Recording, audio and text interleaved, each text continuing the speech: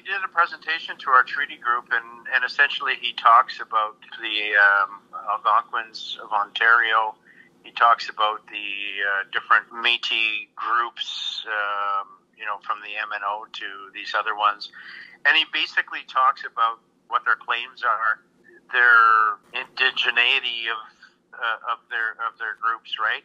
He kind of debunks a lot of you know these claims of, of being indigenous uh, through through research. Oh, okay. And with the AOO, there's a mixture there. There's there's um, uh, the government and all their wisdom kind of you know uh, made made Indians out of these these uh, you know people who have claims. Some of them which may be some of some relevance, some which are not, most of which are not. Um, you know, dated back to the 1600s to, you know, a woman who, and I'm just giving you an example, a woman who who was basically a Nipissing member, and so they're claiming that's their ancestry from the 1600s, and um, you know, that they're a First Nation, which is kind of ludicrous to, you know, if anything, if they have any claim, it would be to being a member of our community, right? Mm-hmm. Um, but the, the, the most, I guess, the most um, uh, problematic thing in this this whole scenario with Métis and and Algonquins of Ontario uh, that are dealing with, you know, the land claim settlement, is that it's another nation who is is basically sanctioning these people as indigenous when it should be. I mean, if there's anybody that should be recognizing, um, you know, indigenous ties to our communities, it should be us, not a provincial government. And and that's where I have, you know, a lot of problems. I can't remember who it was who said. I think it was over at McCready who said something like, you know, the the colonial government are so bold that they they think they could make Indians uh, out of non-Indians and real Indians not. You know, like they have that magical power to do that, and you know, it, it's crazy that you have all these groups that are you know claiming to be, and you know, when you think of it, you can claim to have indigenous heritage, but that doesn't make you a nation. That doesn't even make you part of a nation. Like the nations should be determining who their people are, right? And not a provincial government or a federal government for that matter. Any foreign government. You know, it's like a nation, another nation, who their who citizens are. You know, it's like America telling Canada who's who is a Canadian and who's not. Yeah, well, and take that analogy one step further. I, I got Ukrainian blood in me. That doesn't make me, you know, an Ukrainian citizen. Yeah. No, and it, it doesn't make you at war with Russia.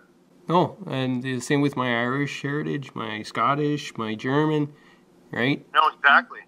I can I can claim that as a heritage ancestry, uh, but that's as far as it goes. It's not a legal standing. One thing that we're working on at Nipissing, it's kind of tied into the Anishinaabe Nation uh, governance agreement.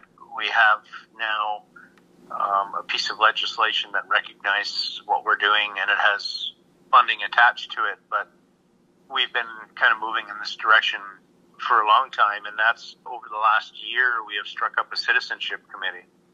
And essentially, uh, the federal government doesn't want to touch it because they, they understand how complicated it is. The Indian Act, as much as, you know, it, it's, it's, a, it's a horrible act and it should be abolished, but it has to be abolished in, in steps. And one of the things about it was it, it made it very simple with blood quantum, which makes you a status person or not, right? And then the whole status status card verification of identity. It was a very simple one. It's, it wasn't a, a right one or, or, or, a great one, but it was very simplistic. But it wasn't fair, and it wasn't uh, a, a, um, a system of self determination. It was it was imposed on us, but it was very simplistic.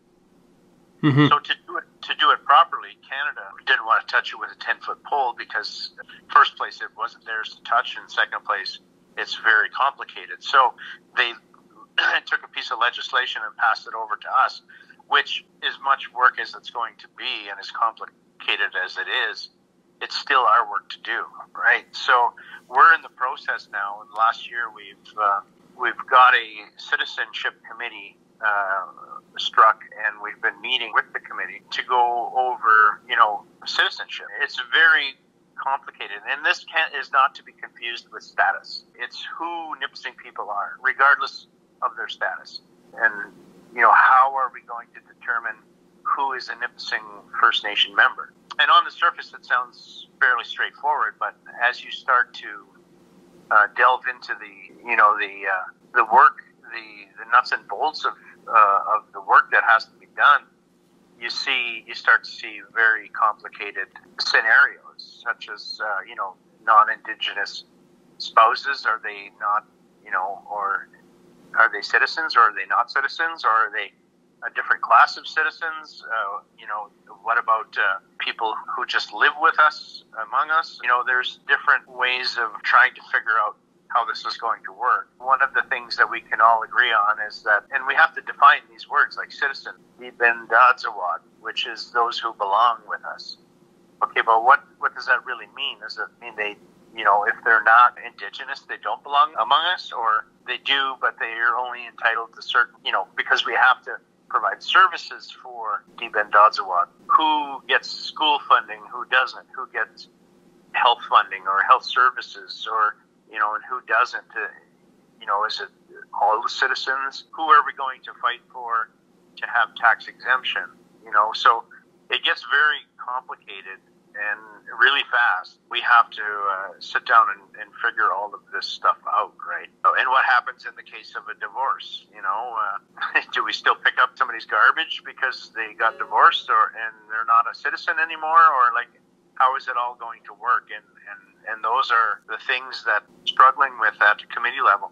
So what we've decided to do is kind of take this approach of a very high level approach to, at first before trying to put uh, you know any meat on the bones, uh, just some core values, and try and uh, build it up from there. So it's going to prove to be a very lengthy and a complex process with with some heavy consultation. We got to make sure we're bringing the community along and getting input all along the way. So it's very in its very infancy, but um, you know, this is I think what's going to lead to probably adopting uh, a one-parent rule for the citizens who are actual Nbissing Anishinaabe, which means that you know they are the bloodlines of of the Nbissing people, not necessarily married in or whatever. So the first step in also getting status for all of our members, it's no longer the 6-2, the 6-1 uh, blood quantum that makes them status or exempt from the taxes, but it would be our law that makes them exempt from any taxation. Yeah, well, that's where the rubber uh, really hits the road for a lot of people, and probably also the Canadian government and provincial, right? The it comes down to dollars and cents and rights and responsibilities and services because everything's finite, right? You know, our uh, numbers of status members to our community, right? That's what that's how they gauge things. And you know, if we go to a one-parent rule, that that's going to, in a very short term, it's going to increase our membership, but I think over the long term, it's going to stabilize it. Because right now, with with the blood quantum rule under the Indian Act, projections are you know maybe 60 years of not having too many band members left. I don't know if you've ever heard the expression of stop genocide, but this is exactly what that is, right? Legislating our people out of existence through Indian Act or whatever legislation that the government has put into place, and, and don't kid yourself to think that they weren't thinking of this, a timer on, on getting rid of the responsibilities uh, to Indigenous people, to have the legislation of what acknowledges you or identifies you as Indigenous to eventually fizzle out, right? Where there won't be any identifiable Indigenous people, and therefore their fiduciary responsibility would be negated through that piece of legislation. It doesn't have to be all blood and guts uh, genocide. It, it can be just lack of recognition through time and legislation. Yeah, what was it? Go to university, lose your status at one point? I have friends who are not status because their grandfather got killed in, in the war. He gave up his status to fight for Canada. He's he got killed overseas, never came back, so he could never regain his status because they said, well, once you come back from the war, you can regain your status. Never did. So all his grandchildren, children and grandchildren, uh, lost their their status. They're currently fighting to get it rectified, but it's not complete yet.